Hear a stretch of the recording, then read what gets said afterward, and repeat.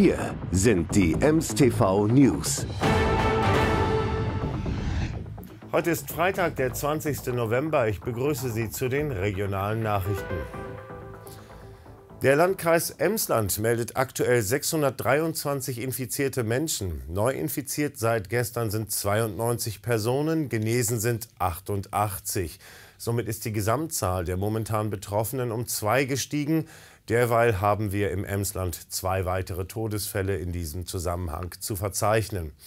In häuslicher Quarantäne befinden sich rund 2140 Menschen. Er liegt mittlerweile 25 Jahre zurück, der Fall Elke Sandka.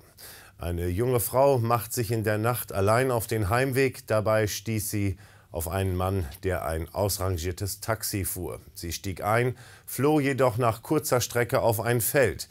Der Mann holte sie ein, versuchte die junge Frau zu entkleiden, um sie sexuell zu missbrauchen oder zu vergewaltigen. Als dies misslang, zerriss er den Polunder der Frau und erdrosselte sie damit. Das Urteil vom 13. März diesen Jahres zu diesem Fall ist nun rechtskräftig. Der mittlerweile 66-jährige Täter wurde zu lebenslanger Haft verurteilt wegen der Ermordung einer jungen Frau aus Sögel im Sommer 1995. Am Donnerstagmorgen ist es zu einem Raubüberfall auf einen Kiosk an der Straße Esterfelder Stiege in Meppen gekommen. Die Täter bedrohten die Angestellte mit einer Pistole und forderten die Herausgabe von Bargeld. Ein weiterer Angehöriger des Kiosks kam dazu und forderte die Täter eindringlich auf, den Raum zu verlassen. Daraufhin flohen die beiden ohne Beute in unbekannte Richtung. Zwei Tatverdächtige konnten festgenommen werden. Es wurde Haftbefehl gegen sie erlassen. Bei einem Brand soll bekanntlich die 112 gerufen werden. Die Feuerwehr rückt dann an, um zu löschen.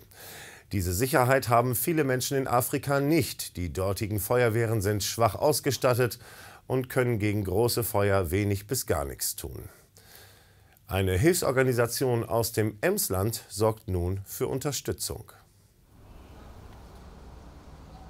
Auf den ersten Blick macht diese Halle in Freren keinen besonderen Eindruck. Hinter verschlossenen Türen verbirgt sich aber etwas wahrlich Ungewöhnliches. Das European Support Team hat seit 2018 seinen Sitz in Freren und sammelt Ausrüstung für Feuerwehren in Afrika. Zusätzlich hilft die Organisation bei der Ausbildung der Brandbekämpfer. Also am Anfang hatten wir natürlich noch nicht die Größe, die wir jetzt erreicht haben. Das heißt, äh, man muss mit dem Material vor Ort auskommen. Äh, das war oftmals sehr schwierig und herausfordernd, ohne Material eine Feuerwehr auszubilden. Ähm, genau, und das ist einfach eine Entwicklung der Zeit. Äh, wir waren sehr gut, sehr schnell, haben jetzt einige namhafte Unternehmen, auch die unser Sponsor sind, viele, viele Feuerwehren, die uns dankbar unterstützen. Und äh, das ist die Strategie hinter unseren Projekten. Ohne Ausrüstung kann man nicht ausbilden. Und deshalb äh, schicken wir, das ist jetzt das aktuelle Projekt in Kilifi County in Mombasa oder bei Mombasa, ähm, erst Material runter und fangen jetzt hoffentlich im Februar an, dann mit der Ausbildung auf dieses Material. Am vergangenen Freitag wurde ein Container beladen und verschifft. In acht Wochen soll die Fracht das kenianische Mombasa und die Stadt Kilifi erreichen. Brände wie diese gehören immer wieder zum Alltag in Afrika. Durch den Aufbau funktionierender Feuerwehr- und Rettungsdienstsysteme machen es sich die Ehrenamtlichen zur Aufgabe, das alltägliche Leben der einheimischen Bevölkerung sicherer zu machen. Man muss äh, einfach mal mit Kenia anfangen. Kenia ist flächenmäßig zweieinhalb Mal so groß wie Deutschland. Ähm, deshalb, wir fangen erstmal mit Kenia an, würde ich sagen. Ähm, ja, wir möchten natürlich weitere Countys ausrüsten. Wir möchten das Ganze natürlich noch weiterbringen, Fahrzeuge runterschaffen etc. Äh, das Ganze auf einen bisschen stabileren Bein noch stellen, auch finanziell gesehen, wo uns natürlich jetzt die aktuelle Krise sehr nach hinten geworfen hat. Und ähm, ja, das sind so Pläne, weitermachen, langfristige Projekte am Leben lassen und, und, und. Im Februar werden Freiwillige nach Kenia fliegen, um vor Ort die Anwendung von Atemschutzausrüstung einzuüben. Das Bemerkenswerte, nicht nur nehmen sie sich dafür extra Urlaub, sie zahlen sogar alles aus eigener Tasche. Falls Sie das European Support Team dabei unterstützen möchten, die Feuerwehren in Afrika weiter auszurüsten, die Initiatoren freuen sich über jede Unterstützung. Gestern ging es heiß her im Lingener Stadtrat. Neben einer Wiederwahl sorgten vor allem Anträge der SPD für viel Diskussionsstoff. Bei der Lingener Stadtratssitzung standen einige emotionale Hoch- und Tiefpunkte auf dem Programm. Darunter die Wiederwahl des Stadtbaurates. Lothar Schreinemacher wurde mit 39 Stimmen bei nur einer Gegenstimme für eine zweite Amtszeit in seiner Position bestätigt. Damit wird er auch in den kommenden acht Jahren die Baumaßnahmen der Stadt koordinieren. Der Oberbürgermeister freute sich über die Wiederwahl des Stadtbaurates. Ja, ich bin sehr froh, denn wir haben eine sehr gute Zusammenarbeit im Verwaltungsvorstand mit ihm als Stadtbaurat. Wir haben sehr viele Pro Produkte und Projekte in dieser Stadt, die umgesetzt werden müssen. Er hat ein breit gefächertes äh, Fachspensum, was man hier wirklich äh, vorweisen kann. Und vor allen Dingen, er hat die Kompetenz zu kommunizieren, miteinander mit dem Bürger in, in, in, Dialog zu treten, dass wir gute Lösungen finden und dass sich die Stadt weiterhin so entwickeln kann, wie sie es gerade tut.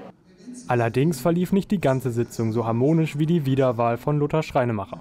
Bei einem Antrag der SPD-Fraktion für die Einrichtung von Ortsräten in der Innenstadt war keine große Einigkeit vorhanden.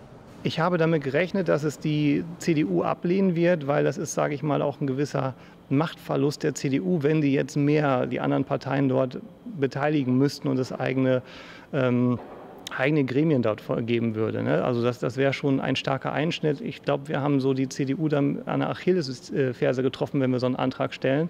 Aber ich hoffe, dass die CDU auch mit den Jahren lernt, dann, weil die haben die Mehrheit, die können sowas ablehnen, dass sie verstehen, dass das eigentlich Wunsch und Wille der Bürgerinnen und Bürger ist.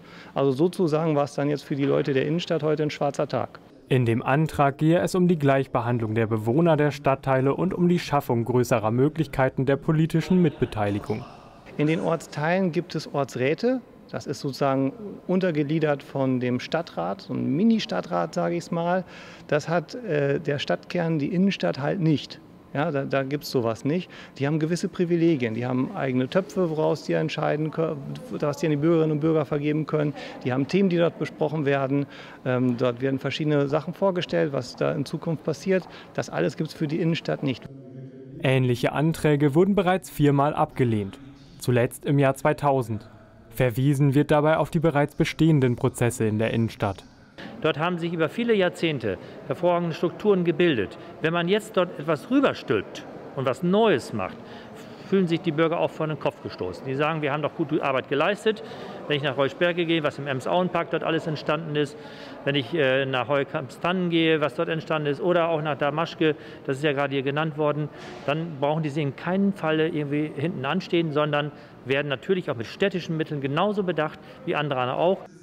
Einem weiteren Antrag der SPD-Fraktion zur Schaffung eines Corona-Beirates wurde ebenfalls nicht zugestimmt. Dieser sollte aus den Mitgliedern des Verwaltungsausschusses bestehen und öffentlich tagen, um den Bürgern Informationen zur Corona-Lage präsentieren zu können. Immerhin wurde über einen Kompromiss gesprochen, nachdem Informationen zur Pandemiesituation regelmäßig im Stadtrat besprochen werden sollen. Die letzte Sitzung in diesem Jahr wird am 17. Dezember stattfinden. Alle Verkehrsteilnehmer, die regelmäßig in Meppenfersen unterwegs sind, dürfen sich freuen. Früher als geplant ist die zweitgrößte Brücke des Emslandes fertiggestellt worden. Dominik Kemmer hat sie getestet. Das ist sie, die neu gebaute Flutmuldenbrücke in Meppenfersen. Nach nicht einmal zweijähriger Bauzeit wurde sie heute vom Landkreis Emsland vorzeitig freigegeben. Der geplante Kostenansatz von rund 6,5 Millionen Euro konnte bei dem Großprojekt eingehalten werden. Ich freue mich, dass wir auch schneller fertig geworden sind. Das ist ja nicht immer der Fall bei Bauprojekten, als eigentlich geplant war. Und wenn der Zuschauer jetzt sozusagen hinter die Kamera schauen könnte, dann würde er sehen, dass hier ganz viele Fersner mit Rädern da sind, die wirklich darauf gebrannt haben, jetzt hier rüber zu fahren. Das entschärft die Situation, die momentan tatsächlich angespannt ist. Zufahrt nach Meppen-Rhein, siehe Lambertsbrücken, die äh, eine Lastbeschränkung haben, ganz enorm. Also ein schöner Tag. Im Januar 2019 wurde die alte Brücke für den Verkehr vollständig gesperrt. Die Fahrbahn ist aus Verkehrssicherheitsgründen auf 7 Meter erweitert worden. Die neue Brücke ist 10 Meter länger als die alte. Den Fersenern ist besonders die neue Optik aufgefallen. Sie freuen sich natürlich auch, dass jetzt der Fersener gerade auch morgens die Schüler, die ja diese Brücke auch nutzen, hier wieder nach Meppen hinein können, ohne Umwege zu fahren. Also insofern die Ferser sind, glaube ich, sehr glücklich und der Ortsvorsteher hat es vorhin auch noch mal sehr deutlich gesagt. Es ist ja eine andere Brücke geworden, auch äh, aufgeständert äh, in der Flutmulde, aber insbesondere auch das Geländer in äh, blau-grün passt ganz gut. Das sind die Landkreisfarben, es ist hier eine Kreisstraße. Also insofern, ich glaube, auch das hat bei den Fersenern noch dazu geführt, dass sie sie ganz gut finden. Knapp zwei Jahre nach Baubeginn durfte die neue Brücke heute erstmals genutzt werden. Auto- und Radfahrer ließen sich nicht zweimal bitten. Über die zweitlängste Brücke des Emslandes freuen sich nicht nur die Fersener. Es gibt sie in verschiedensten Größen, künstlich oder aus der Natur, und nur einmal im Jahr zieren sie die Häuser. Weihnachtsbäume gehören zur Adventszeit wie Geschenke, Glühwein oder Lebkuchen. In Lingen wurde heute ein besonderes Exemplar aufgestellt. So viel vorweg, in mein Wohnzimmer passt er nicht hinein. Am Vormittag wird geschraubt und getüftet. Ein paar Stunden später kann man dann schon erkennen, was es wird. Der größte mobile Weihnachtsbaum Niedersachsens steht dieses Jahr in Lingen. Mitten in der Stadt ist der 25 Meter hohe Baum nicht zu übersehen. Der Weihnachtsbaum ist ein künstlicher Weihnachtsbaum. Wenn man näher rangeht, sieht man, dass das Grün eben nicht echt ist. Das heißt, wir mussten keine Tanne, die über 60, 70 Jahre gewachsen ist, fällen, sondern es ist tatsächlich alles künstlich, aber es sieht trotzdem, finden wir jedenfalls, relativ natürlich aus. Es sind eine Million LED-Lampen an dem Baum verbaut, sodass man wirklich auch ein schönes, spektakuläres Lichtensemble hat. Dieser Baum wäre natürlich der Hingucker auf dem Weihnachtsmarkt gewesen. Dieser fällt aber bekanntlich aus. Trotzdem wird es im Stadtkern schon bald sehr besinnlich. Montag wird der Baum äh, mit der Spitze und dem Stern finalisiert, dann ist alles fertig, dann leuchtet er auch ab Montag und dann äh, zum ersten Advent natürlich äh, pünktlich auch die Weihnachtsbeleuchtung in der Innenstadt mit den Glocken und den Sternen, sodass wir dann eine festlich geschmückte Innenstadt zur Adventszeit haben. Das Fest der Liebe wird dieses Jahr nur unter Einschränkungen gefeiert. Auf die vorweihnachtliche Stimmung müssen wir aber nicht verzichten. Auch dank des Baumes, der sicher nicht nur Kinderaugen strahlen lassen wird. So, dann geht's für mich jetzt nach Hause in mein offensichtlich viel zu kleines Wohnzimmer, denn das waren sie, die MSTV News für diese Woche. Alle Informationen am Wochenende wie immer unter www.mstv.de. Ich sage Dankeschön fürs Zuschauen, haben Sie eine gute Zeit. Tschüss.